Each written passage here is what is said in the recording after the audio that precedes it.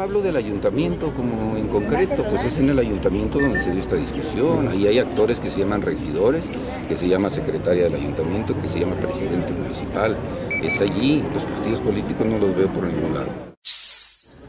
Eh, no lo creo. A estas alturas los recursos han sido pues, entregados, se han hecho llegar. Hay algunos que tienen eh, etapas de administración acordes con los planes y proyectos ejecutivos presentados.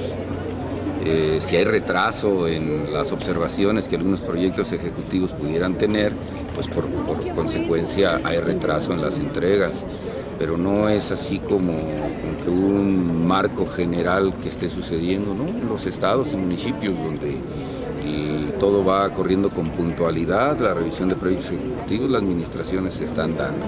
No, hay, no hay desde el Ejecutivo Federal o desde cualquiera de sus áreas, este, la Subsecretaría de Egresos, de, de la Secretaría de Hacienda, no hay ninguna...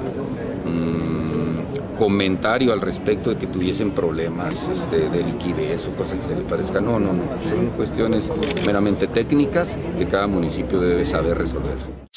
Si su dicho tiene pruebas de que alguien en el ámbito federal esté obstruyendo la llegada, pues que las presente y que nos informe a los irapuatenses y que nosotros estaremos dispuestos a ir con él a tocar las puertas que sean necesarias.